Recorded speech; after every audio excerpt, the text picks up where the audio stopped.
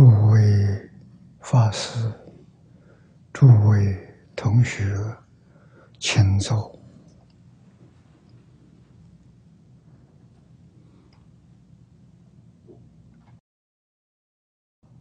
请坐啊！请大家跟我一起皈依三宝。阿舍利成念，我弟子妙音，师从今日乃至命存，皈依佛陀，两祖中尊；皈依大摩利欲中尊；皈依僧伽注中中尊。阿舍利存念，我弟子妙音。师从今日乃至命存，皈依佛陀，两祖中尊；皈依大摩利欲中尊；皈依僧伽注中中尊。二舍利成念，我弟子妙音，时从今日乃至命存，皈依佛陀，两祖中尊。皈依大摩利欲中尊，皈依僧伽注中中尊。请看《大经科注》第七百页啊，第七百页第七行啊，第七行看起是以下分贤。功德，念老的注解，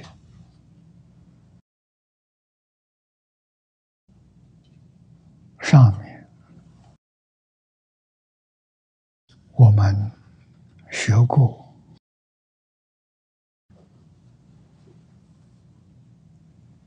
极乐世界八种清风。这一段呢，要说明风的好处啊，风德就是风的好处。寿名风骨妙胜，得风徐动，宝树宝王，演出苦空无常无我。波罗蜜等等微妙法音，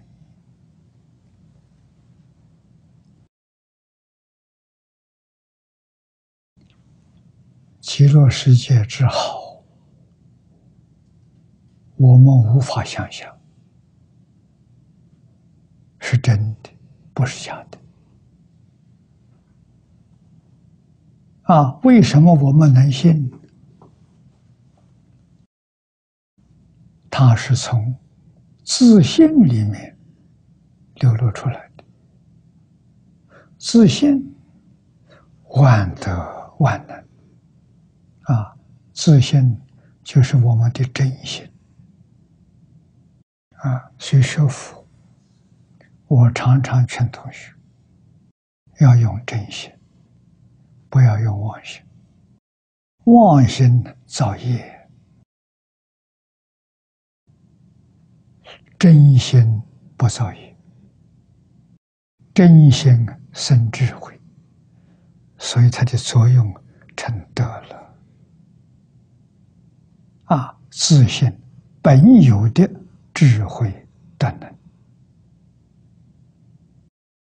谁用着？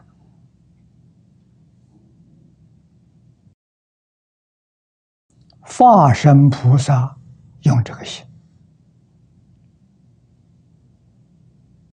啊，大乘菩萨叫发菩提心。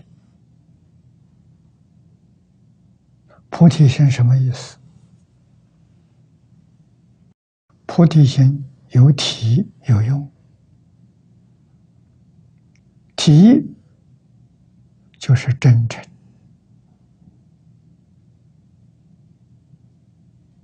啊，用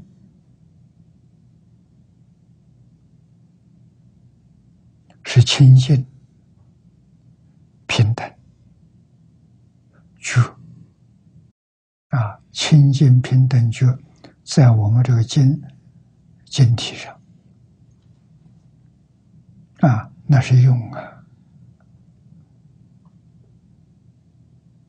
那用真心呢，就是用真诚心。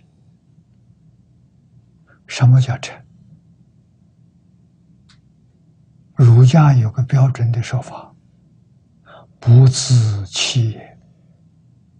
啊，不会自己欺骗自己，自己欺骗自己，成就没有了，就是假的，就不是真心，妄心了。啊，妄心欺骗自己，也欺骗别人。这个里头也有善恶，善行感受的三善道，那就是天人阿修罗。现在这个三善道啊。也不善了，我们人间社会混乱了，天也如是啊。所以天上现在人少，三途人多。我们听到这个说法，马上就明白了，为什么少呢？现在人造恶业的多。行善的少，善人才能升天呢。啊，升天的标准是十善业道啊。今天有几个人能把十善业道做好？所以，善心、善行、善意的人少了，没有过去那么多，是。天上人口大幅度的衰减了，啊，三途人口增加了，我们造的不善的业，不善的念头啊，所以地狱增加了，恶鬼也增加了，畜生也增加了，啊，这个我们能够理解。极乐世界的好处，这个经说尽了啊！所以我学佛六十四年，讲经五十七年啊，我得到一个结论，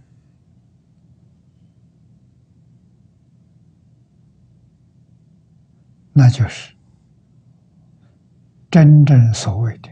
大道至简！真正大道很简单，不麻烦的。啊，我们学佛的目的是什么？世尊教学的目的是成佛。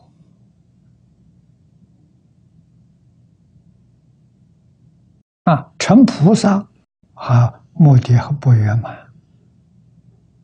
啊，达到一半不圆满，要成佛，成什么样的佛？标准是成像阿弥陀佛那样的佛。阿弥陀佛，光中极尊，佛中之王，要成这样的佛，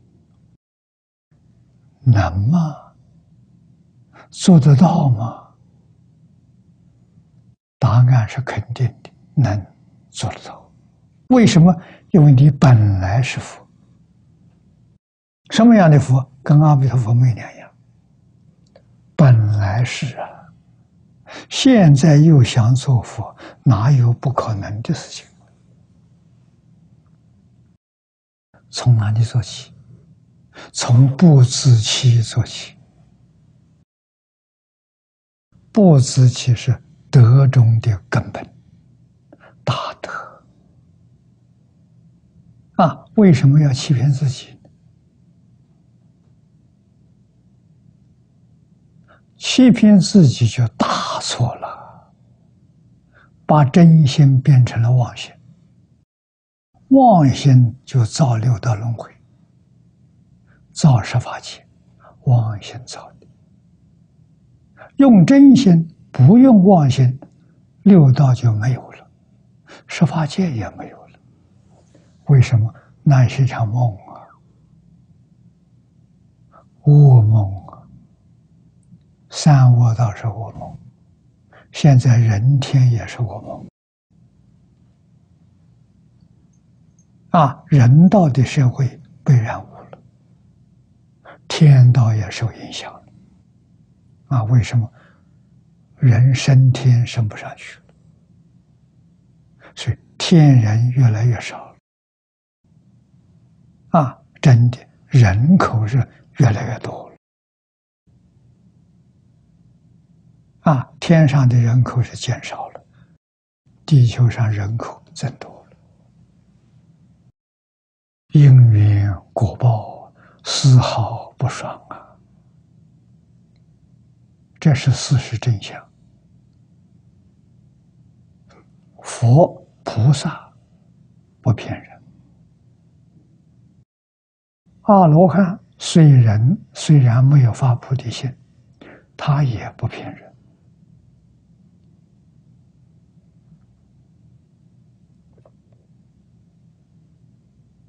啊，阿罗汉是小乘，小乘的戒律。都做到了，都做到一定的标准，所以他能够超越六道轮回，不能超越十法界。啊，那四生法界比我们就殊胜太多了，我们比不上。啊，啊阿罗汉修身？我们的经题上说的很清楚，佛法的成就三个阶段：小成就清净，清净心现前，这就是声闻缘觉。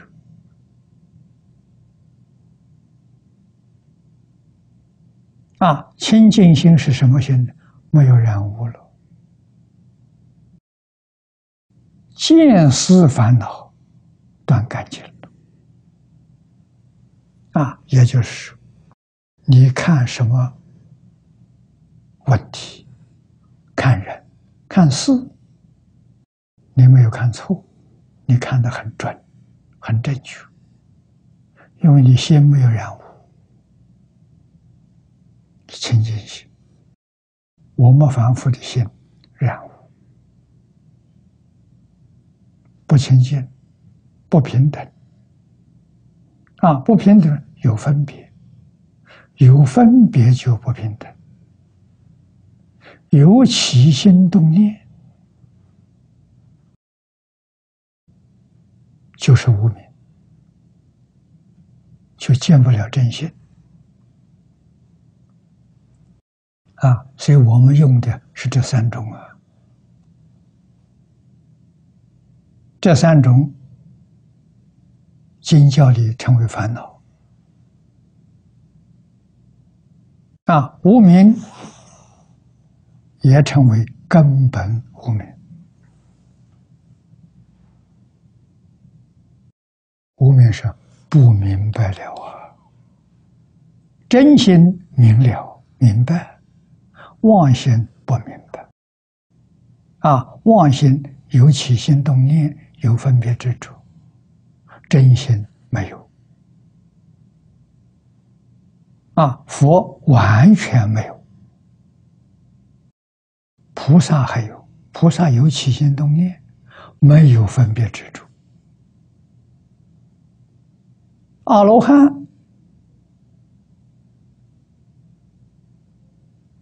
有起心动念，有分别，没有执着。啊，那我们凡夫是三样统统有：起心动念、分别执着。而且现在我们这个时段，啊，也就是我们的一生，从小到老死所看到的严重的执着。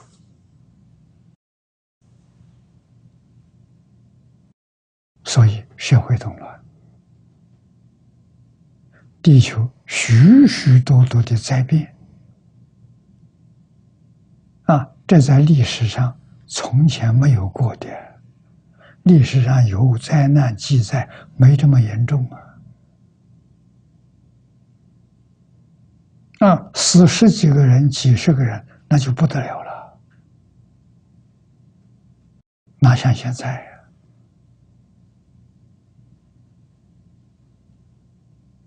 现在的染污，这个执着就是染污，非常严重。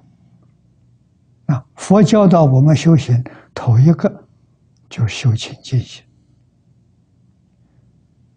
把执着放下，不要执着。为什么不要执着？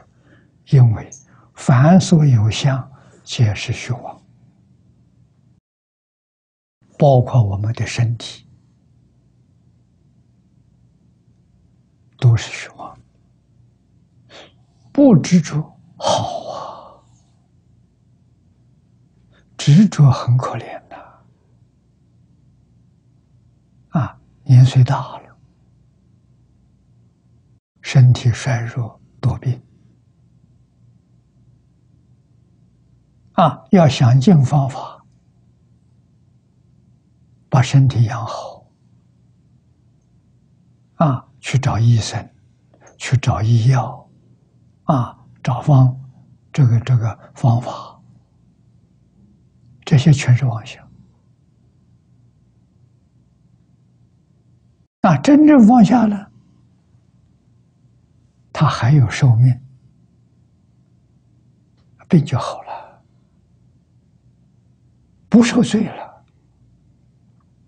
啊，前些年。中国大陆山西小院有一个光碟，有四十多个人得癌症末期，啊，医院放弃治疗，告诉他们，你们还能够活着，大概只有一个月到三个月。啊，短的一个月就要走了，长的不超过三个月。啊，所以让他们回家。啊，这些人里面很多是念佛人，听到这个信息之后，没有办法了，等于说是死刑宣判了，日期给你，这才通通往下。一心念佛，念了三个月，三个月之后，人还好好的活着，到医院去检查，癌症没有了，啊，恢复正常了，医院感觉到非常惊讶，就问他们：“你们是用什么药、什么方子治好的？”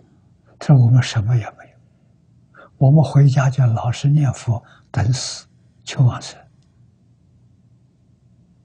啊！寿命没到啊，阿弥陀佛不来接他，他万缘放下，把病也放下了，他不想病了。这个有道理。大乘教里佛告诉我们：一切法从哪里来的？从心想生。你天天琢磨我身体不好，天天琢磨我有这个病有那个病，没有病也想出病出来了。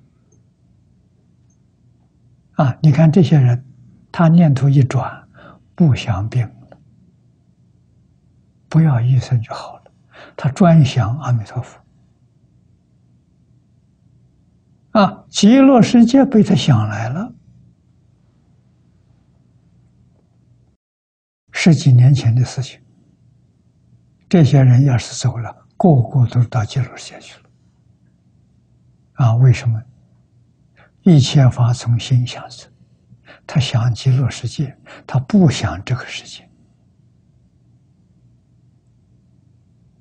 啊，他不想疾病，他只想极乐世界。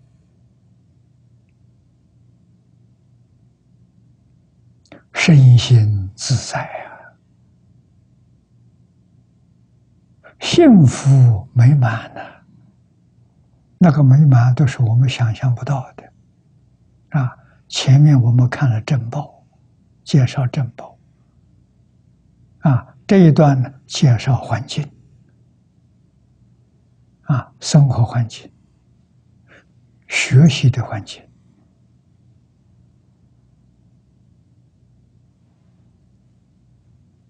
极乐世界很特殊，不可思议，确确实实有四图三倍九品，就是它有等级。像我们这个世界有六道，啊，有无色界天，有色界天，有欲界天。啊，二十八层天呢，真有啊！不平等的，极乐世界有四徒三辈九品，真有，但是他们的待遇是平等的。啊，怎么平等的呢？阿弥陀佛本愿加持，不是他自己修成。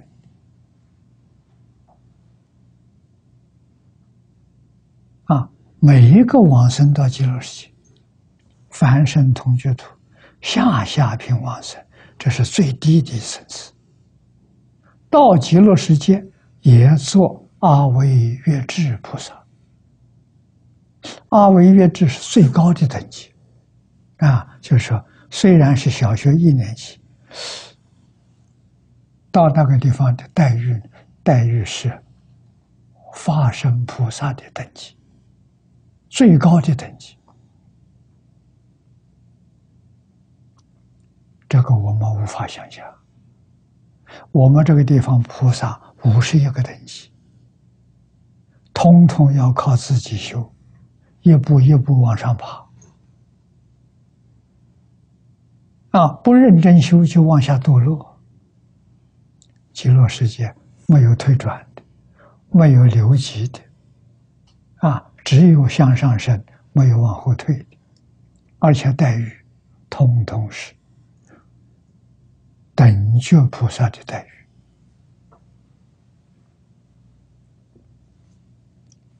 这个就太难太难了，啊，真的是百千万劫难遭遇啊！你要没有遇到这部经，你不知道啊，这样的经典。释迦牟尼佛在世的时候，多次宣讲，其他的经一生就讲一遍，没有讲第二遍的，唯独这部经。啊，中国古大的书，至少三次以上。啊，那么在中国有十二种翻译。很可惜的，这十二种当中，七种失传了。现在留下来的只有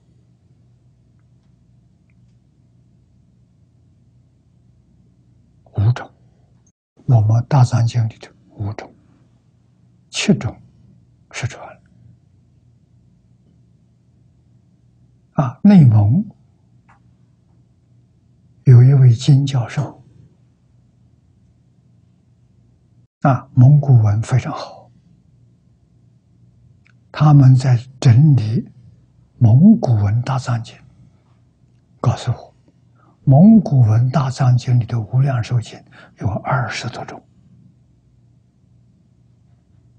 啊，那古人想到的这部经是佛多次演说，就得到证据了。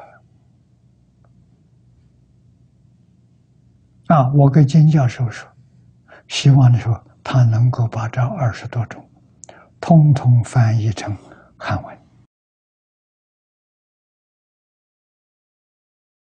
啊，用中国文字翻出来，我们来看看世尊在世的时候，啊，多次讲解，他多次讲解并不一样啊，大同小异，所以就有汇集的必要了。那汇集是把所有不同的这个说法。全部都汇集在一起，让我们在这一个本子看到全貌啊，完整的《无量寿经》。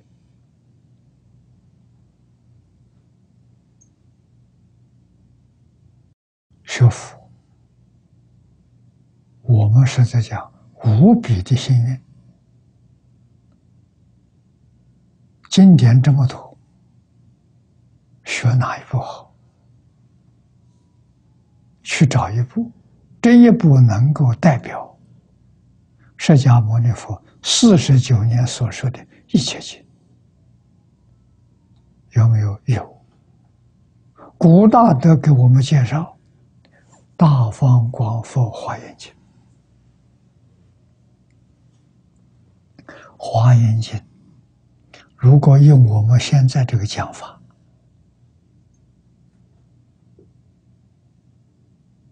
啊，细讲，从头到尾讲一遍要多少时间？我估计的两万个小时才能讲一遍呢。啊，过去我讲了两次都没讲完。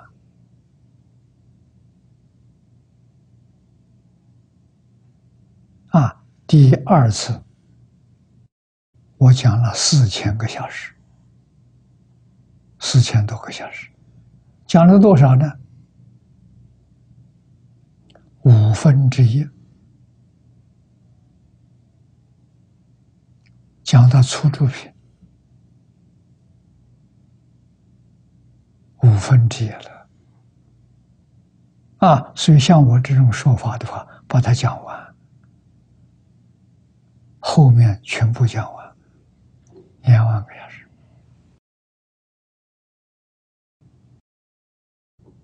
啊，四千个小时五分之一，通通再加上四分，啊，四五二十，整整两万小时，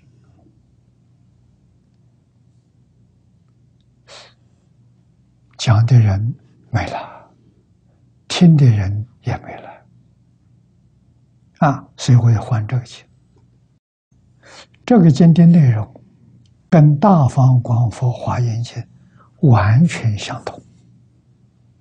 啊，古人讲中本华严，那还有小本吗？有，小本华严说佛说阿弥陀经，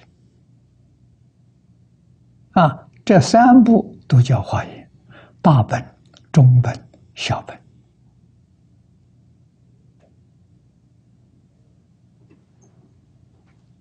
好在古大德对于小本极力宣扬，往生的人多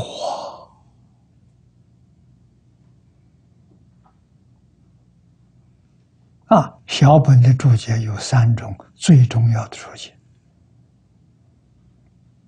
莲池大师的素抄，藕叶大师的要解，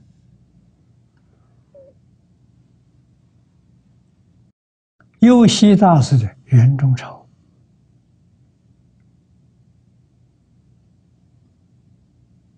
啊，我过去还学过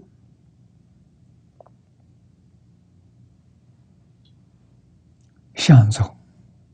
窥基大师的注解，《阿弥陀经》注解，叫《通赞书》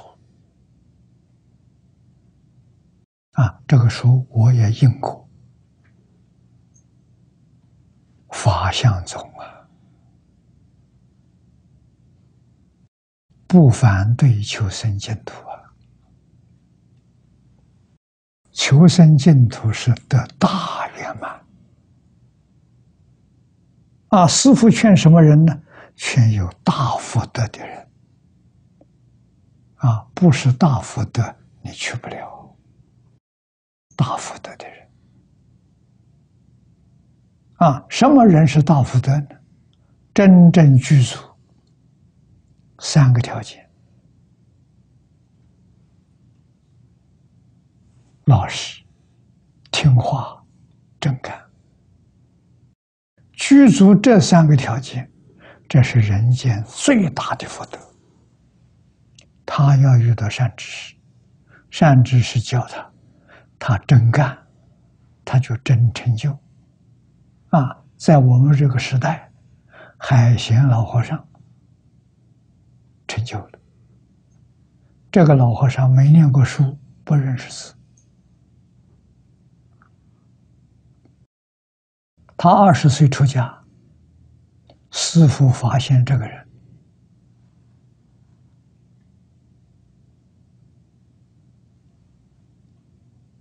这个人稀有难得，具备这三个条件，他一定能成佛，不是到极乐世界成佛，在这个世界成佛，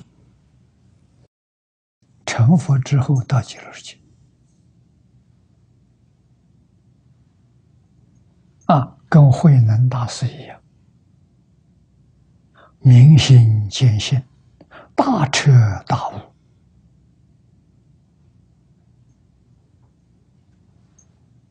这就成佛了。见性成佛了，禅宗说的啊，他给我们做榜样，你说容不容易？一句“南无阿弥陀佛”，或者念简单一点“阿弥陀佛”四个字。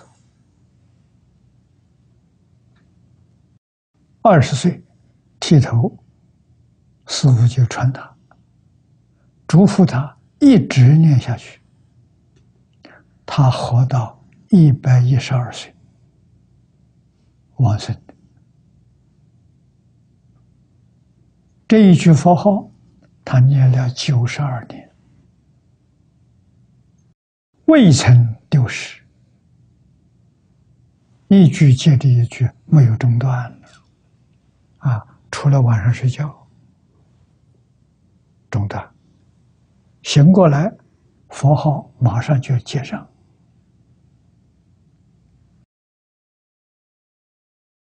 他念到什么程度？我们有理由相信，他念到理一心不乱，离一心不乱就是禅宗的大彻大悟、明心见性。啊，师父当时还嘱咐他一句话：“明白了，不能乱说，不能说。”那个明白了什么意思？大彻大悟。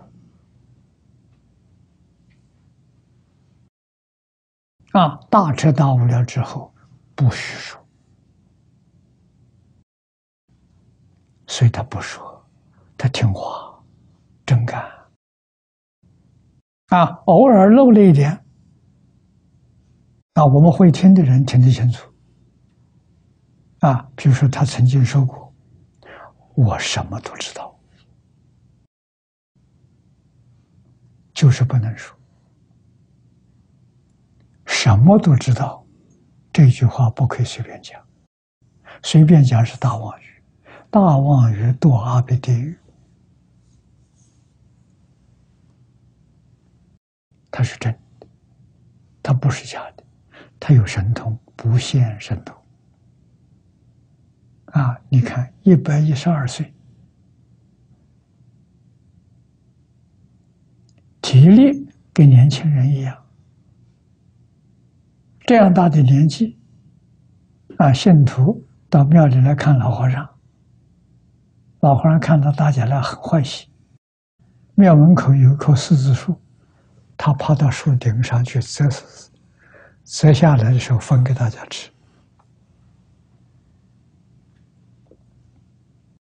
往生那一天，他晚上往生的，白天做一天工，在菜园整地，啊，浇水、拔草，干了一天，干到天黑，晚上我睡。不许人作孽，不告诉人，啊，只告诉人我最近啊要走了，阿弥陀佛叫我走了。啊，佛来接他，啊，实际的时间没说，所以这些人到第二天早晨叫老和尚，一看老人走了，给我们做榜样啊！我相他，我相信他寿命没那么长，佛菩萨加持的，啊，这叫表法。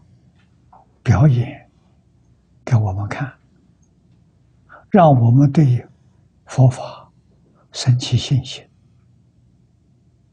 他表演给我们看的，第一个肯定极乐世界真有，他一点都不怀疑；第二个，阿弥陀佛真有。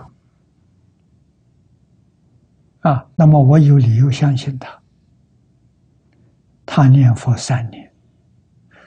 就能得到功夫成片，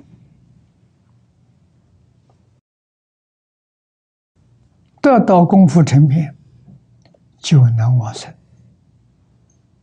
为什么？阿弥陀佛来透信息给他，或是梦中见佛，或是定中见佛。啊，佛来告诉。你的寿命还有多久？到命中的时候，我来接引你，你心就踏实了，绝对不会错。但是有许多聪明人，这一见到阿弥陀佛。就不肯放手啊！向佛要求，我这寿命不要了，我跟你去，你带我去。阿弥陀佛很慈悲，我相信十个求求往生的。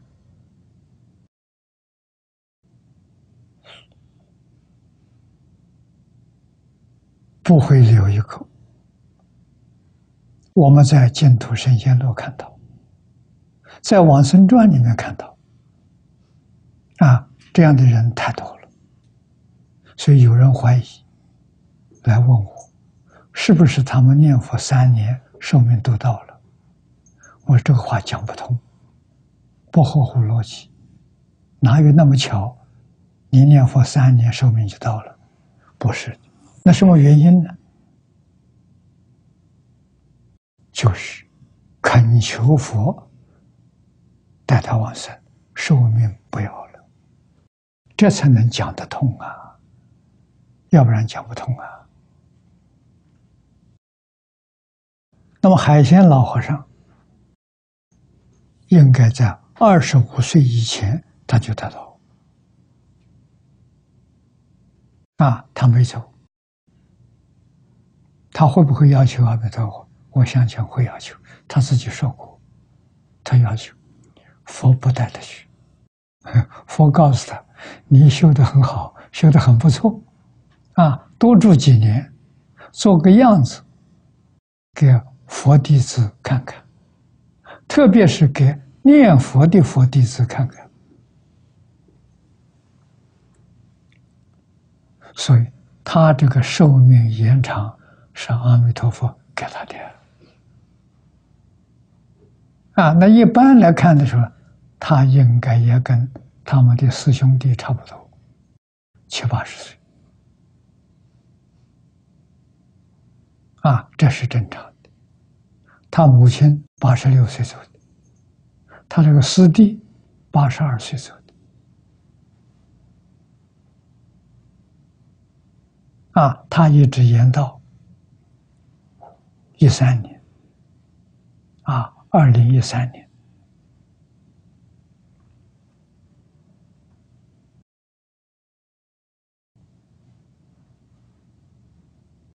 啊，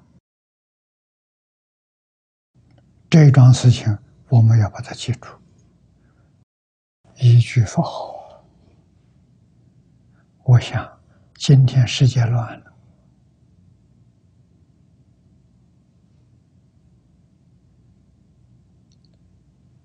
国家、地方领导人都是民选的，选出来之后，问问他：“你用什么治国？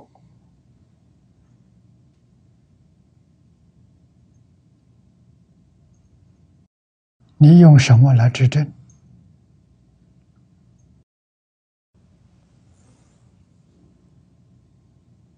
很多都说不出来。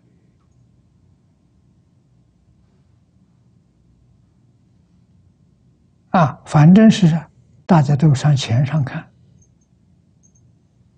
啊，钱赚的多就好啊，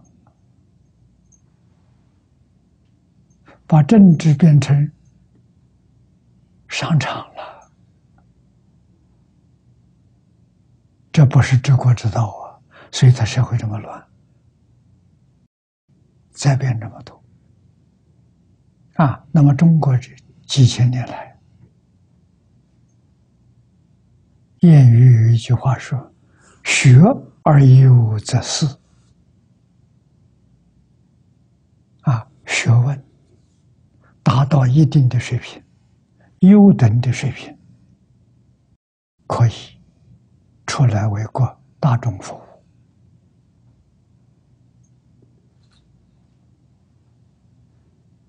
为什么？他懂得治国，啊，齐家治国。平天下的理论跟方法，古时候读书人有这种天分，有这个福报，有这种才华，老师特别重视，让他走这条路。啊，没有这种天分，老师不教他。啊，教他什么？教。在四农工商里面教农工商，教这些，让他在这一生有正当谋业的能力、谋生的能力。啊，他是什么材料，就怎么样教他。古时候教学是个别教的，啊，不是像现在一般，啊，同一个年级像一刀切。啊，这个中国不用这个方法，一刀切的时候，真正有才华的抹掉了，啊，没有才华也提不上去，啊，所以他是个别教学，这个方法好啊，理念好啊，我们想把它恢复起来，啊，再试试看，我相信很管用。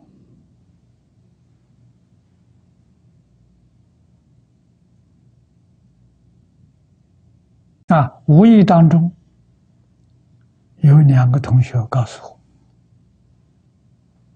他们有成就了。怎么成就的？一古法，一门深入，长时熏修。啊，每一天读一部经，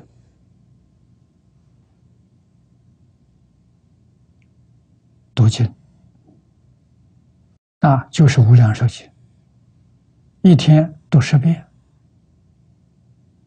啊，开头是十遍的，十遍，大概刚刚开头念的时候，一天只能念五遍，两个小时念一遍，五遍十个小时，以时间算十个小时，念上半年，熟了，差不多都可以背诵，速度快了，一个小时念一遍，那就一天念十遍，一两年之后，这熟透了。半个小时可以念一遍，那十个小时念二十遍，啊，时间是十个小时，遍数你看有五遍、十遍、二十遍，念了多少年了？二十年，没有间断。啊，他的成绩呢？刚才讲了。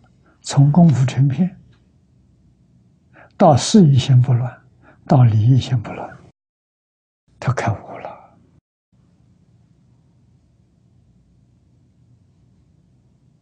这方法，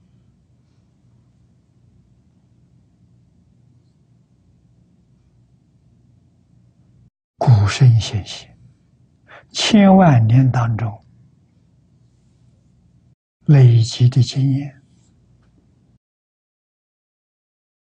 是真的，不是假的。啊，东北刘素云居士，他就用这方法，二十年不间断。他没有学过的经，你拿去问他，他都会讲。啊，没有什么地方把他难住了，对吧？这是大悟啊，这不是小悟。啊，另外一个人，胡小林居士，他念《大乘起信论》，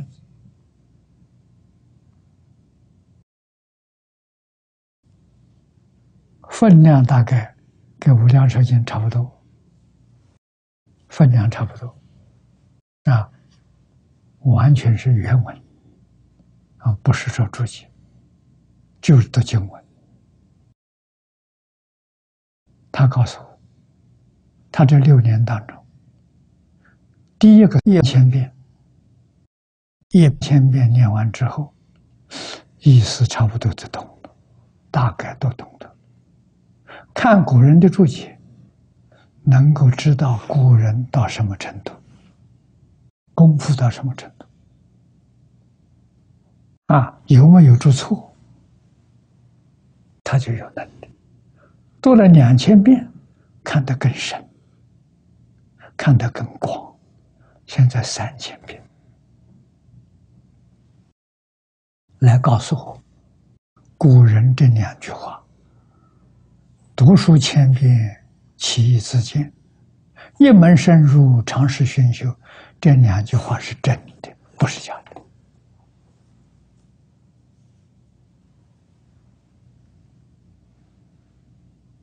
啊！于是我就想起来，古人老师教学生，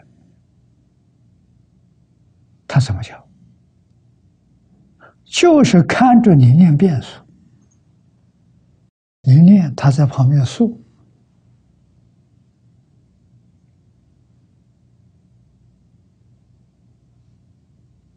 啊，给你念的今天上的这一棵树。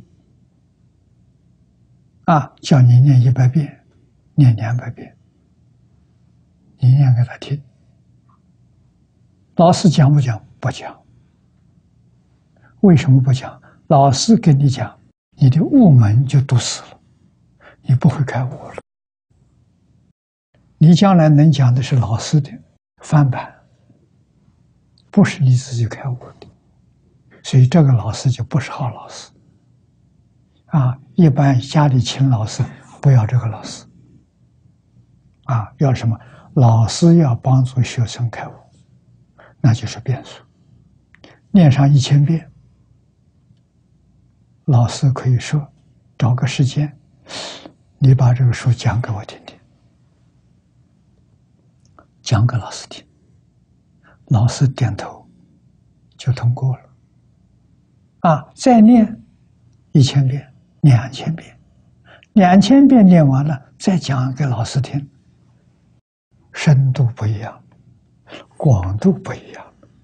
啊，到三千遍，三千遍满了之后，老师说点头，行了，毕业了。这一本学会了，可以再学一部。啊，这一本要是没有开悟学，不能学第二步。就是一门深入，就是尝试熏修，自见其意，自见就是开悟，不是别人教给你，也不是看别人注解。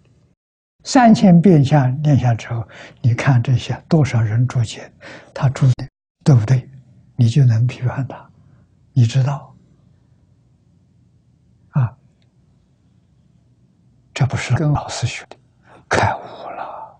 老师要帮助学生开悟啊，啊，开悟之后，老师跟学生可以讨论这个经典，可以互相研究切磋琢磨，啊，最重要的是要把你所学的应用到生活。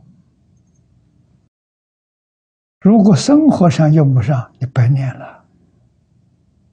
啊，用到生活，你的生活才快乐。学而时习之，不亦乐乎？就法喜充满。啊，那个快乐是从内心里头生出来的，不是外面刺激的。啊，长生欢喜心啊！这就是方东伟先生早年告诉我的，人生最高的享受啊！别人享受不到，他没有你这个境界啊！他要有你这个境界，他要好好回家去念三千遍啊，才能体悟体悟得到啊，否则话体悟不到，所以。为什么？因为你见性，自信里头本自具足。啊，慧能大师开悟的时候，第三句讲：“何其自信，本自具足。”具足什么？无量智慧。啊，那么佛所说的一切经，圣贤人所讲的这些经论，从哪里来的？是自信般若智慧流露出来的，你见性跟他一样，啊，他说的你怎么会听不懂？完全明了啊！所以一定要相信啊，无师自通。我们要学，要训练人才。要训练无师自通的，要训练这种人，啊，样样都能通，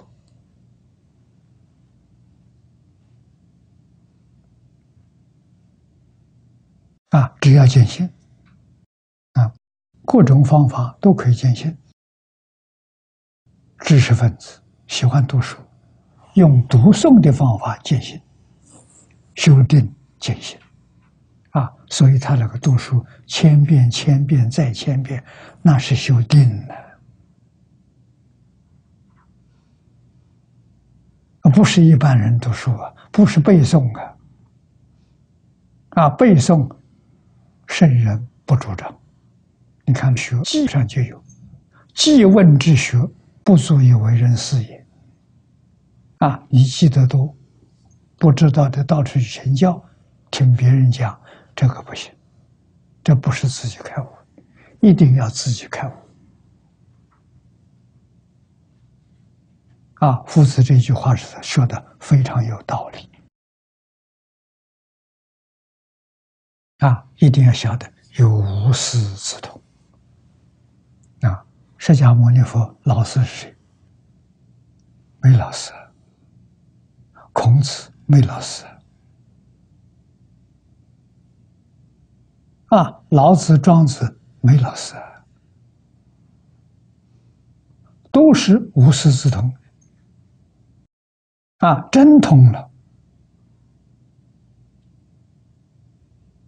啊，他所说出来的都是一样的。啊，老子、庄子，啊，《论语》、孟子，跟佛经你掰开来看都一样，同样境界。啊，所以读书目的是明心见性，见性成佛。佛就是觉者，就是我们这个经体上清净平等觉，觉就是佛陀。啊，印度人梵文称佛陀，翻成中文是觉，觉悟了。啊，你不用古人这个方法，你做不到。读你喜欢读什么？要读经书，为什么？经书是毕业论文，是博士论文，它水平最高。你读其他的文学作品，它水平低，没这么高。啊，我们是取最高的，啊，所以一定要去经典，儒的经典。道的经典、佛的经典，甚至其他宗教的经典都可以，只要变数多，变数多什么？心定啊！诵经的时候。没有妄想，没有起心，没有动念，没有分别，没有执着，这是修大定了。修自性本定啊！啊，自性本定，慧能大师第四句说的：“何其自性，本无动摇。”这一句话说明，真心是不动的，妄心是动的。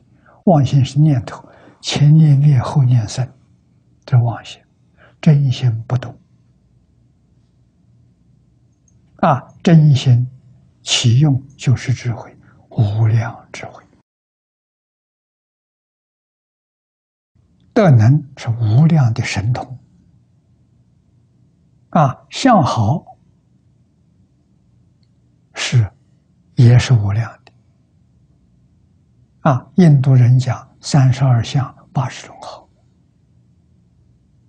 这他只看到粗显的，微细的他没看到。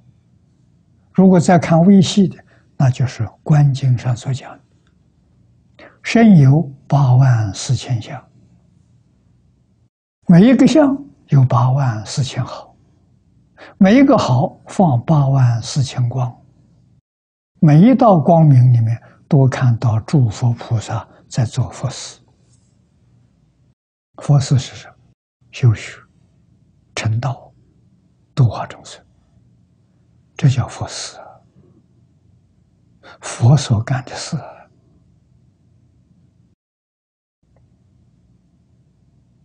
啊，那么现在在很多宗教里找真正佛所干的事找不到了。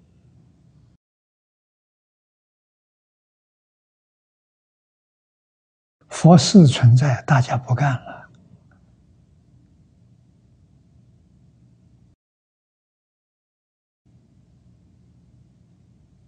啊！我早年在台湾一个人，很自在。啊，张家大师看到了，劝我出家，要我学释迦牟尼佛，给我这么一个条件，我就答应他老人家了。啊！我第一部看的佛书，张家大师教的，释迦牟尼佛的传记，啊，《大藏经》里面的释迦谱、释迦方志，啊，告诉我，学佛先要认识佛，不认识佛，你将来会走偏了，走邪了，你不知道。啊，首先要把老师认识清楚。对呀，讲的很有道理呀。啊，跟一个老师对老师不认识，那盲从很危险。啊，一定要搞清楚。那读了之后才晓得，释迦牟尼佛不像是一般宗教迷信，像什么呢？像一个老师。啊，但是这个老师的学问智慧是自己悟的。啊，就是我们一般讲，读书千遍，其义自见。他智慧是自见，他没有人教他。然后我们知道，这是自信本有的智慧，这个智慧是真的，不是假的。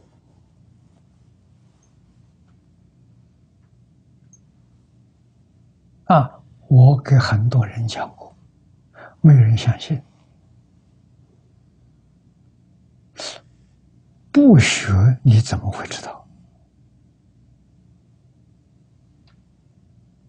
科学技术知识。不学不知道，学了就知道。智慧不学，它才出来；学了就盖住障碍。所学的全障碍，它就透不出来。这个东西不能学，这个要定啊。静帮助你的定，定就开智慧，是这么回事情。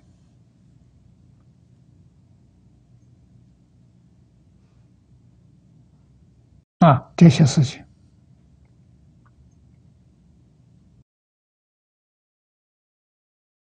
我在台中求学的时候，李老师讨论过的问题。啊，但是要有根性。根性是什么？条件呢？条件就是老师听话真干，真听话。绝不改变，他就会成功。所以你看看，海贤老和尚一句阿弥陀佛名号，不过是六个字，大彻大悟。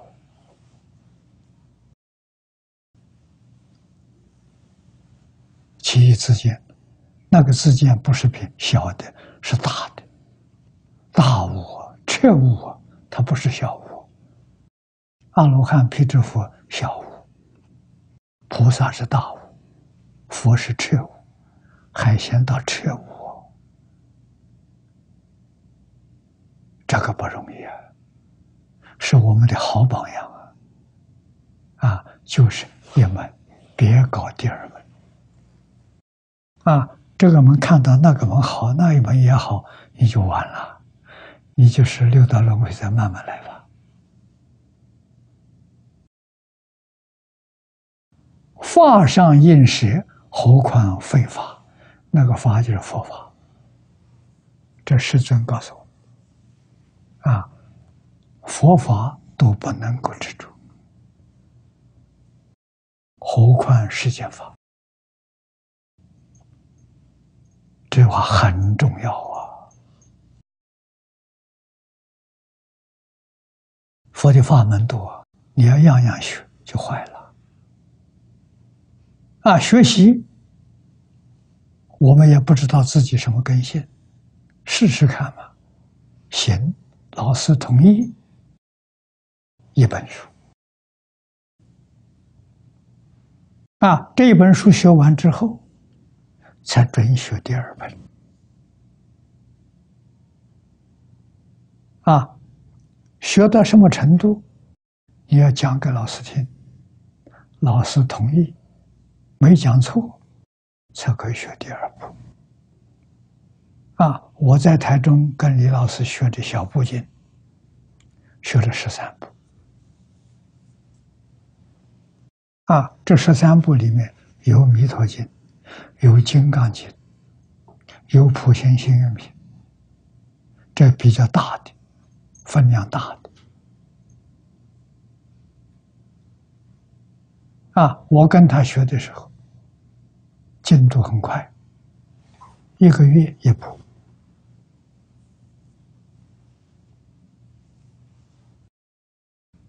这十三部经要一起学，学不会。就搞乱了，一步一步的学。啊，像现在学校排课，这很糟糕。啊，以小学生来说，啊，他有四门主要功课。啊，第一个重点上语文。啊，第二堂课的时候上数学。头一堂语文还没有完全吸收，又来了新的，把头脑搞乱了。啊，如果这四门功课我们来教，啊，这六个学期，第一个学期、第二个学期，啊，就是一年，第一年完全学语文。啊，第二年学数学，完全教数学。这个小孩学的东西一定高。为什么他专心？他不复杂。这个方法好啊！中国古时候私塾教学是这个方法。啊，没有交叉排课的，交叉排课的时候，学一点常识，模模糊糊的记得，很容易丢失掉。啊，这不是好的教学法，是西方教学。我对这个很不赞成。啊，四十年前我在佛光山，我跟星云法师讨论这个问题。啊，他一定要交叉，不是像学校，你看大学、中学一看课程都是交叉排的。啊，一个老师不是教一天很累，他只上一两一堂课，上完他就走了。啊，老师是很轻松，学生一塌糊涂。啊，脑袋像浆糊一样，不行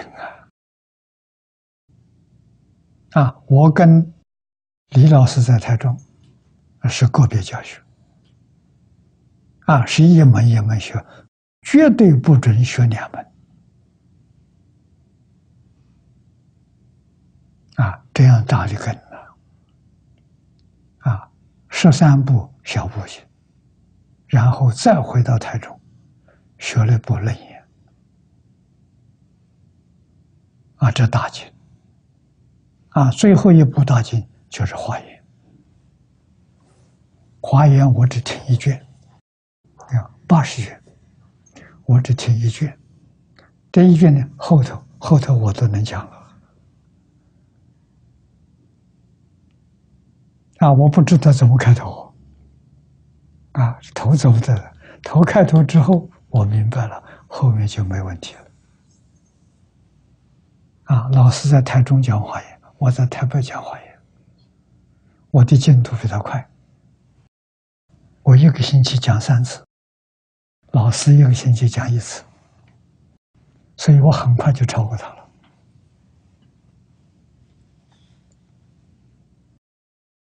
啊，老师希望学生呢，成有成就啊！啊，这是这是老师的成就。啊，那我把这些方法告诉星云法师，他不同意，不同意我就离开了。我那个时候告诉他，我把佛学院一百三十多个学生分班、分组，可以分成四十个组，一组三个人，一组三个人，三个人专攻一部经，啊，多久呢？十年。我跟他这样说：十年。他这不像学校。我说十年之后。我有把握能教出至少二十到三十个讲经的法师，水平在我之上，不在我之下。那个时候佛光普照全球啊，他还是摇头，摇头算了，我就走了。现在老了，后悔了。啊，他要是把我留到湖光山。留了这四十多年的时候，我们对佛教贡献就太大了。啊，来不及了，光阴再找不回来了。啊，所以很不容易，缘遇到了要抓住，就会有成就；抓不住，机会错过了，后悔莫及。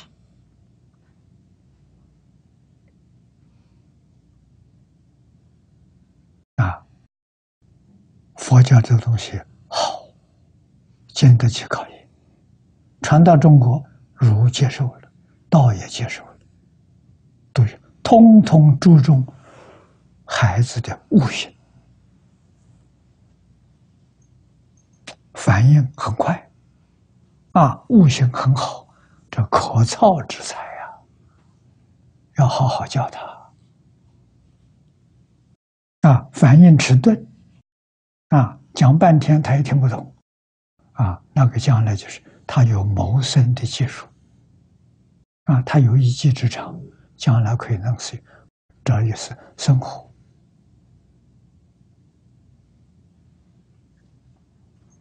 啊，所以古时候国家没有办学校，国家的学校都是像现在讲的党校。是培养政府各级干部，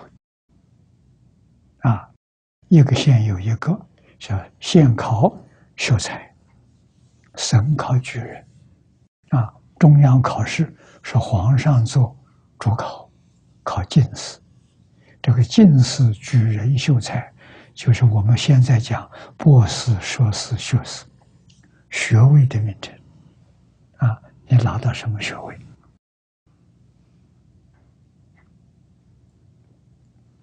啊是这么个道理。那么极乐世界珍宝真的是无法想象，殊胜到极处啊！医宝是环境，这一段是介绍风啊，你看它风之妙，风骨妙胜，风吹动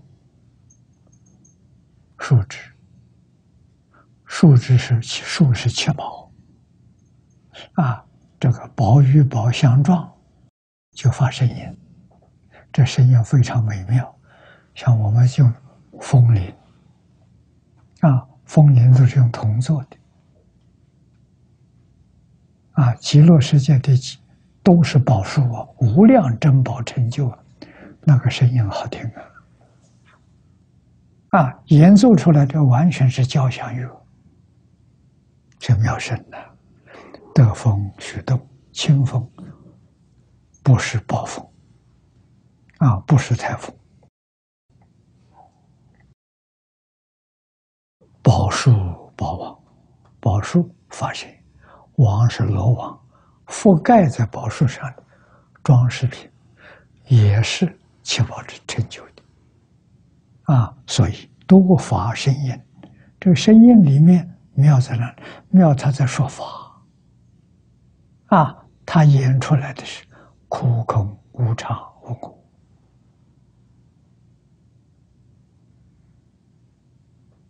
啊，这个就是早年头张大大师教我的看破，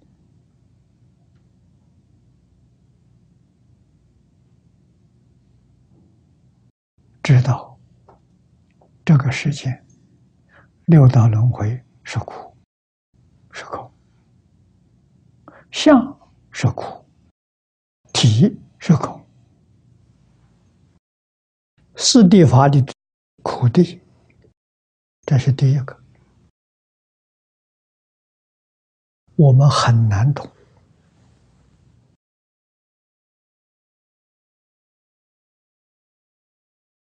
经上虽然说了。不能不接受，佛说的不能不接受，但是我们体会不到啊，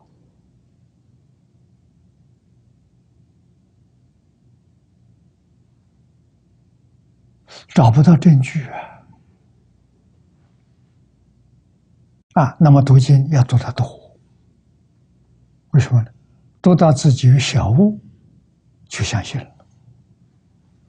啊，换一句话说，一千遍之后你就相信，心没有根；两千遍心扎根。啊，那我们今天说得到科学家帮助，啊，苦空无常无我，量子力学家证明了。我们看到他的报告，跟佛经人讲的一样，这佛经高等科学。啊，量子力学家告诉我们，我看的报告是德国的普朗克，啊，爱因斯坦的老师，他是专门研究微观世界。科学两个方向，一个是宏观天文，呀，研究天文学的，啊，研究这些东西；一微观是最小的，物质最小的，啊，八十年前发现原子，那个时候以为原子是最小的，啊，原子不能再分了。那么随着近代。科学技术的进步，啊，仪器先进仪器不断在成长，原子打破了，那它不是最小的，打破之后发现有原子核，有中子，有电子，发现这些东西，这些东西是不是最小的？一个一个在打破。还是能打破，打破之后，发现基本粒子有六十多种，啊，这六十多种基本粒子再把它打破，这个科学的技术越来越精密，打破之后看到了夸克，它还不是最小的，再把它打破，发现微中子。啊，微中子是打破，真相出来了。为什么没有了？物质现象没有了。啊，没有了是什么？发现什么？念头波动的现象。这下就明白了，原来物质是念头波动所产生的幻象。啊！你看佛经上三千年有佛说“相由心生”，就证明了啊，心现识变。所以被现在量子力学家的报告，我们看着跟佛经一对照，相同。啊，苦空无常，我们就踏实了，不怀疑了。啊。世间的相是苦，啊，体体是空，啊，物质有没有？确实没有。佛在《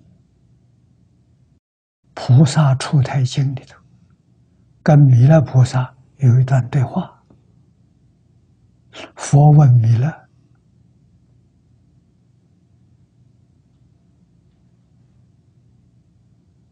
心有所念，凡凡夫，心里动个念头，这个念头里头有几念，有几相，有几时，那个也是问话啊。心有所念，几念几相是也。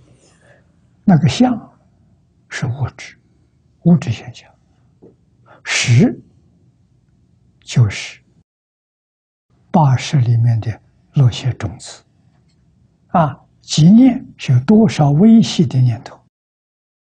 弥勒菩萨回答：这一弹指啊，一弹指，说破手弹指之间之前，三十二亿八千年。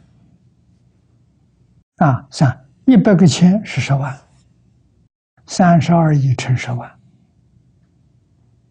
啊，这个数字就打出来了，三百二十兆。这一弹指，一弹指里头有三百二十兆个念头。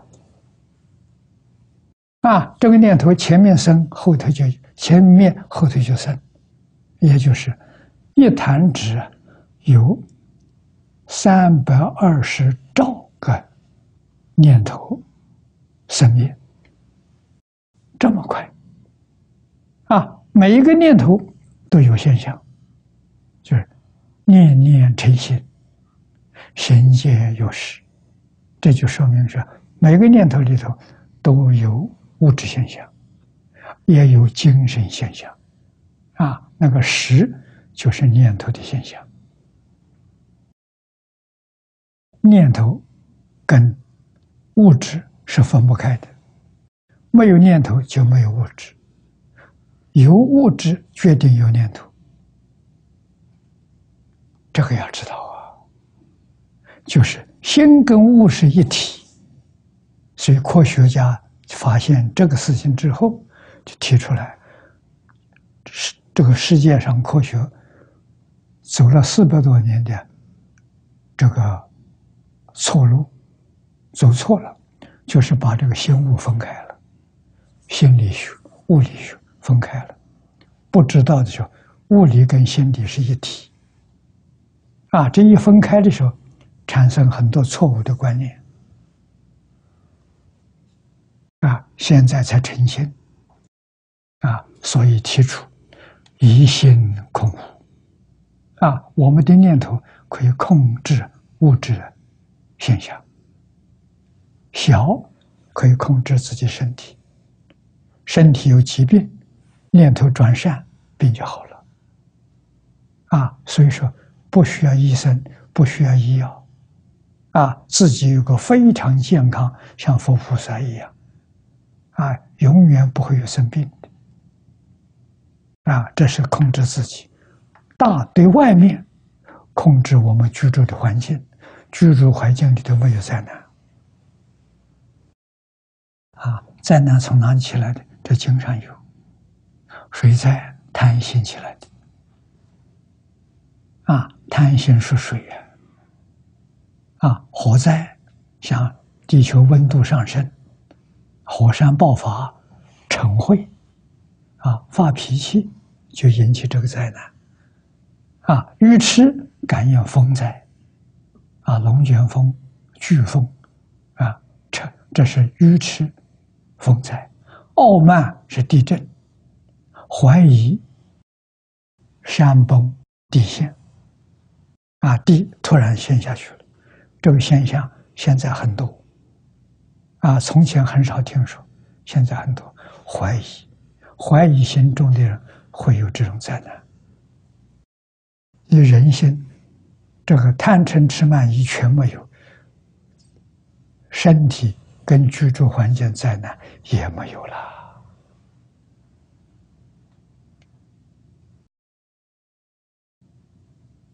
啊，我们相信。再过二十年，科学再进步，就把这个全都证明了。啊，我们要把地球造成极乐世界，能不能？能。每个人念头纯正，地球就变成极乐世界。啊，只要把无量寿经讲清楚、讲明白，我们起心动念，常常。想着这些经文，啊，大家都想，这个世界就起变化了。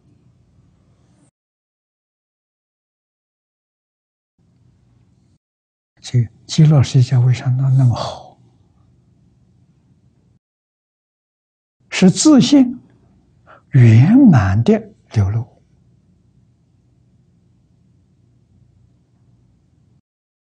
啊，那么我们用慧能大师这五句话：极乐世界清净，一尘不染。啊，衣服不要去清洗，不需要洗衣服，永远不会脏。啊，永远都是发亮的、放光的，清净，大地清净，树木花草都清净，是珍宝为体。啊，我们这边树是木本的，啊，草本的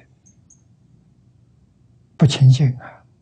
极乐世界的花草树木是七宝造的，啊，它的体是宝，是珍宝，啊，是清净。第二个不生不灭，没有生灭的现象。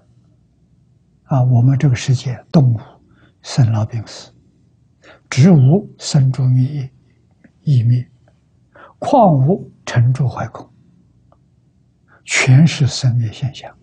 极乐世界没有生灭现象，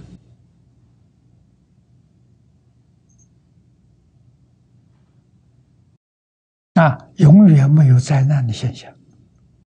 人在那个地方不需要饮食，啊。所有一切，真是心想事成。啊，想衣服，衣服在身上你想什么料子，确实跟你所想的一样的，款式都是你喜欢的。啊，不要不要就没有了，不见了。啊，不需要收拾。啊，你看那个后头极乐变相图，你细看，这里有画的房子，房子里空空的，什么都没有。为什么他不需要？但是我们要书房，要书架，摆那么多书都累死。啊，到那个地方，我想看华严，华严就在桌上；我不想看就没有了。不要收拾它，称心如意呀，这才叫自在圆满呢。啊，谁来陪着我们读书？阿弥陀佛。阿弥陀佛陪着每个人读书，行吗？行。阿弥陀佛的化身，佛化无量无边身，每一个学生都找不到。啊，学生也有能力化无量无边身，啊，干什么？到十方世界去拜佛、学佛，去听佛讲经、学会。所以。在极乐世界，老师是佛陀，菩萨是同学，啊，文殊、普贤这些菩萨都是同学，啊，老学长，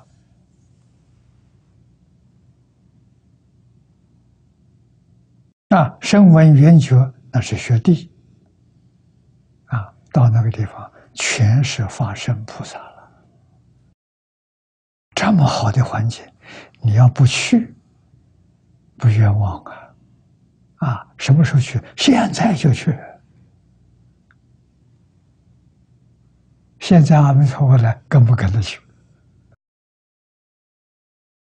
跟他去的就对了。啊，不跟他去的就堕落了。啊，所以我们的心念念是在极乐世界，所以才放得下。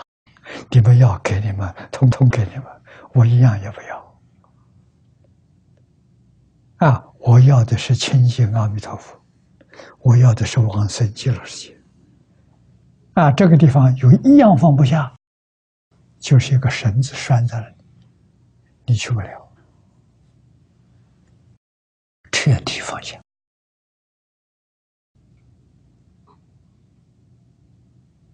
啊，自私自利。自我的念头没有了，无常无我啊！这个世间真的是无常，无我，我不存在了。我这个物质的身体是细胞组成，细胞分析到最后还是微中子。那微中子的形成是念头在。一秒钟，咱们现在用一秒做单位，一秒可以弹七次，啊，那一秒钟是两千两百四十兆次的生命。什么是我？啊，汗毛不是，细胞不是。你说干细胞，这细胞早就灭掉了。啊，确确实实没有啊。这个东西要常常放在心上，看什么呢？看一切人，看一切万物，看一些事，全是这样。一场梦啊！你能这样看法，梦就很快醒过来了。啊，虽然醒过来，还留在梦中，留在梦中什么？做佛事。我想到极乐世界，我希望多带几个人去，不是一个人去，我一队去，一帮去。好啊，极乐世界开欢迎大会呀！啊，所以我们在这做表法，在这把极乐世界的好处告诉大家，因为这是报佛恩。没有佛菩萨，我们怎么知道极乐世界？我们怎么报佛？佛什么都不要，佛就喜欢每个人都觉悟。我们努力让别人知道有极乐世界，知道有阿弥陀佛，知道有无量寿经。这一部经就是圆满经。释迦牟尼佛所说一切经，讲大藏经，通通在里头。念这一部全念了，别再找麻烦。啊，不只是大放光佛法语。啊，这一部经就是圆圆满满的大方光佛法语，大方光佛法语就是圆满的大藏经，啊，也是圆满十方三世一切诸佛所说的一切经，再归纳到最后就是一句阿弥陀佛，阿弥陀佛大饭店好啊，这是我想出来的。啊，为什么叫每一个人？哎，有意无意，他都念一句阿弥陀佛。他晚上看招牌的时候，都会念一句阿弥陀佛，跟阿弥陀佛就有缘了，跟极乐世界就有缘。这个招牌度多少人？啊，不止千千万万呐！你说这功德多大？我说的不知道，要分析的全面。全明白了啊！竖这个招牌的人就是阿弥陀佛的代表，阿弥陀佛的代理人，他在这里接引众生，往生到极乐世界。这个种子种在阿赖耶识里头，啊，必定有一天他现行，啊，他遇到这个法门。遇到这部经典，啊，死心塌地，再没有第二种，他就成就了。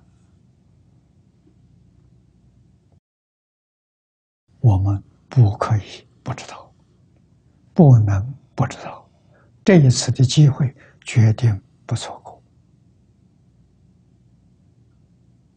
啊，我们的精神、体力、聪明、智慧、财富，都用在。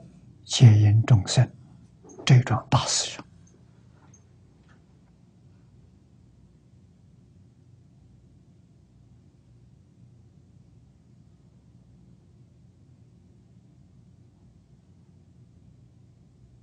啊，那么我们这个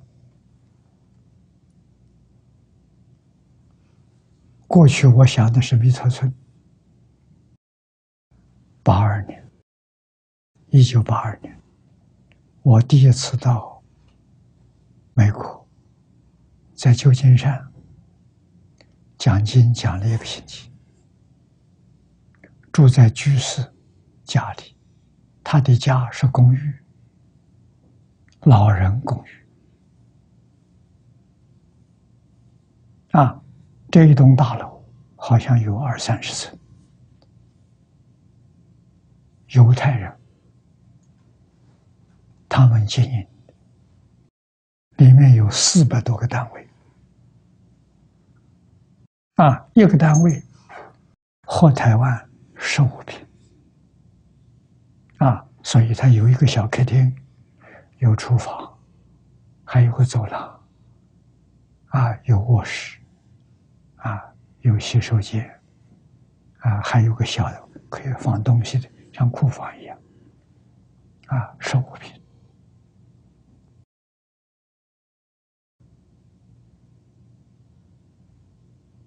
大概价钱也不是很多，啊，适合适合于老人居住，老年人是多半住的，那是很多中国到美国去养老的，啊，不是跟儿女住在一起，都住在老人院。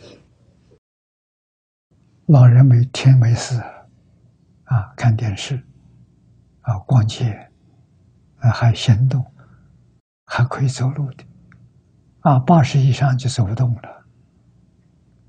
啊，在家里没事情干，我在那讲经，通通来听经，听了一个星期之后，这个方法好。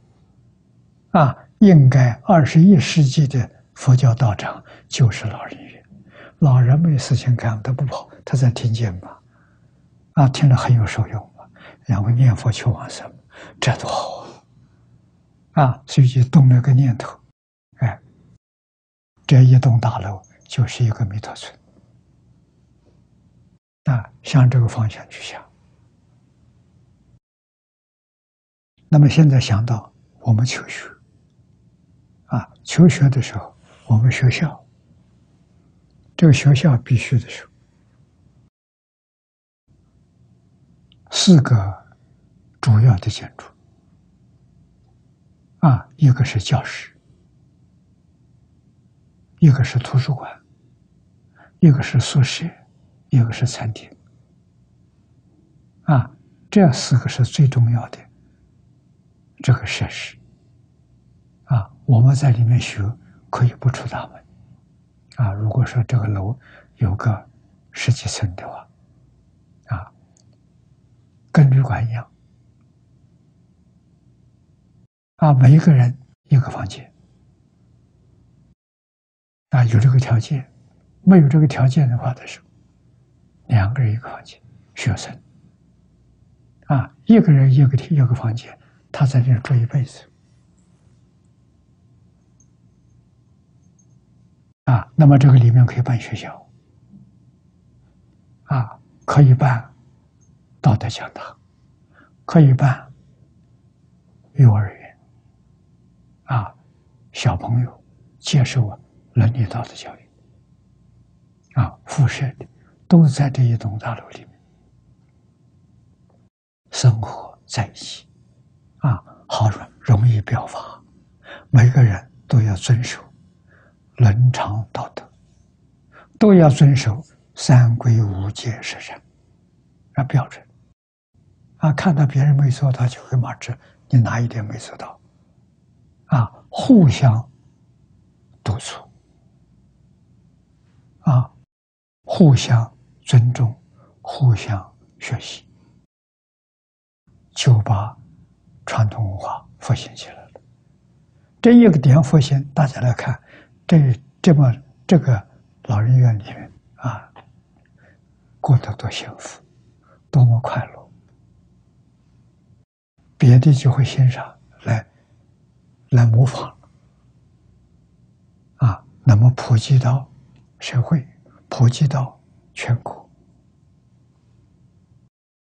佛法的目的达到了。佛法是目的，教学的目的是帮助人离苦得乐，真的让每一个人身心舒畅、幸福快乐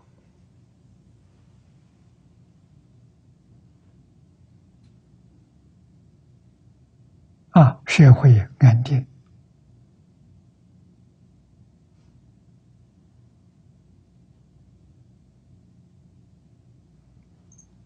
人与人之间平等对待，和睦相处，啊，国家兴旺，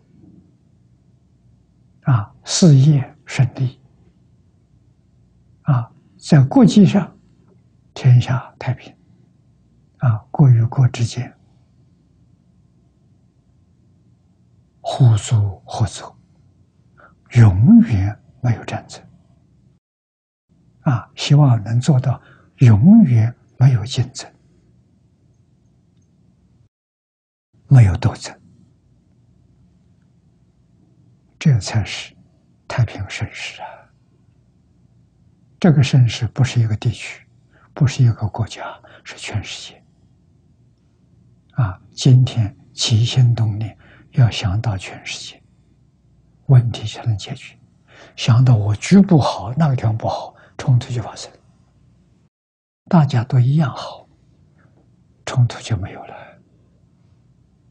啊，所以每个人有观念，起心，我们是为来到这个世界，是为全民服务的，不是为我国家民族，是为全世界，是为所有人服务的。啊，对所有的人都尊重，真正做到平等对待，和睦相处。世界永远安定，永远和平。中国能做到啊！我这里一部《全书之要》能做到，唐太宗做的啊！唐太宗那个时候，大唐帝国的幅员比现在大了，比我们现在版图还大啊！统治那么大的国家。那么多的人民靠什么？用什么统治？群书之要，这他编的。啊，唐朝时候没有印刷术，都是抄写、手写的，分量不多。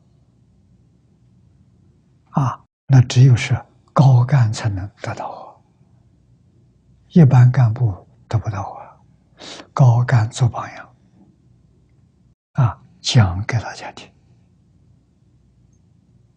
让大家读懂，啊，现在印刷术发达，人人都可以具有，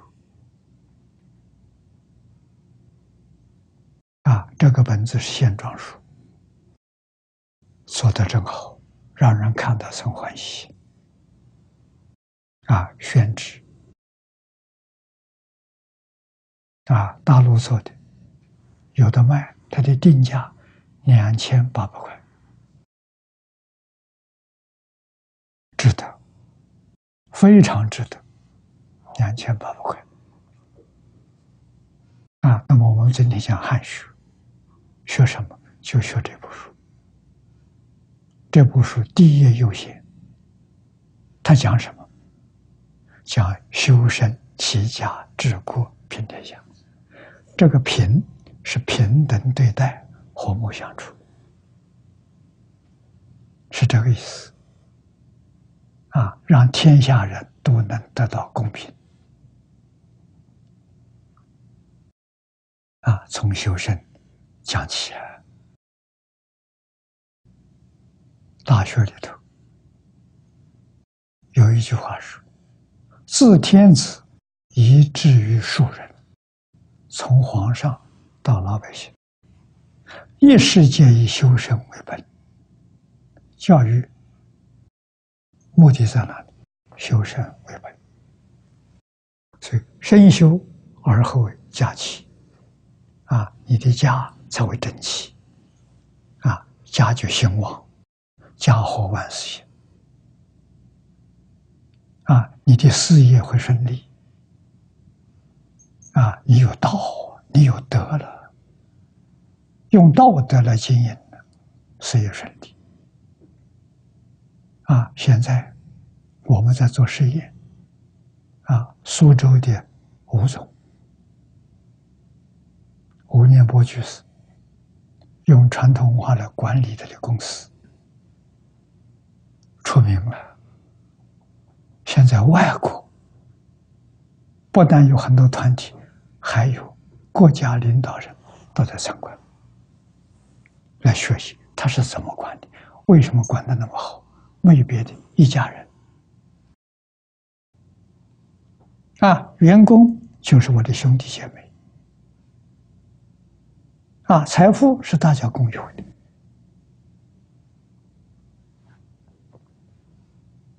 啊，员工的父母，我们自己公司里头有安老院，就养老的公司来养老，有幼儿园公司来教小孩，就是一家人，他就做出来了。我告诉他，中国能够做二十个。这样的榜样，就会影响到全国。啊，还有一个道德讲堂，广东潮州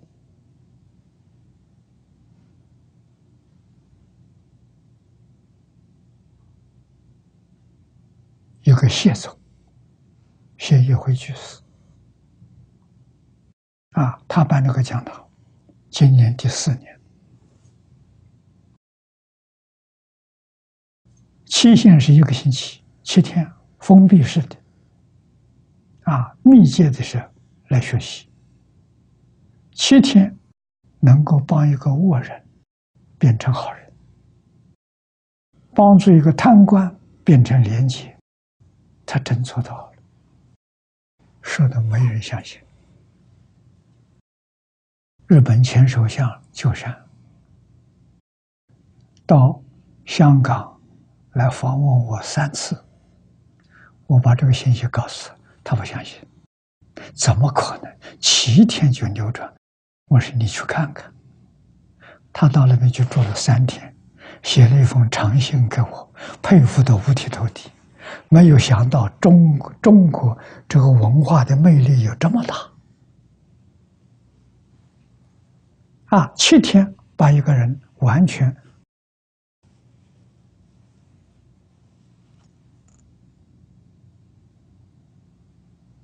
恢复到圣贤的样子，政府的地方政府欢喜啊，把干部都送去受训，个个变成好干部。啊，这个政府的政绩上升了，提升了。啊，最近《人民日报》在那挂牌，《人民日报》是国家的，中央政府肯定的。我们这里也在办模仿的，我们这里派了大概六七个，啊，到他那边去学习，学习回来了，如法炮制。听说。做的也很有效果，啊，教学全部用碟片，用光碟，啊，没有老师，老师请不到啊，很难请啊，啊，完全用光碟，光碟都是这些老师过去这么多年来各地方办这个讲座。啊，办这些活动留下来的，我们在这里精挑细选，选择现在人迫切需要，啊，送给政府，啊，这些政府官员都看过，认为好，啊，有问题的把它删掉，起很大作用。啊，好像现在国内有好几个了，啊，慢慢的，我相信越来越多。啊，我们在澳洲也办了，马来西亚啊正在准备要办道德讲堂，他们的校舍年底可以完工，啊，就可以开办。我们这些辅导的人员，就是先到潮州去受训，啊，一个星期或者两个星期，熟悉之后回去自己办，能够把一个城市的人教好啊，这个城市全是好人一家好人不行，哎，一个都是好人。啊，我们在这个城市，图文巴小城，这十三年，我们自己做的不错，啊，大家赞叹，晋中学院都是好人。啊，现在我们要扩大，我们图文巴市全是好人。啊，这个他们都知道，都有心来做。有这个共识，所以做起来不难。啊，图文巴士要是变成这世界上头一个中国传统文化实验的一个点，真做成功了，会影响很大。啊，那么首先我们就邀请。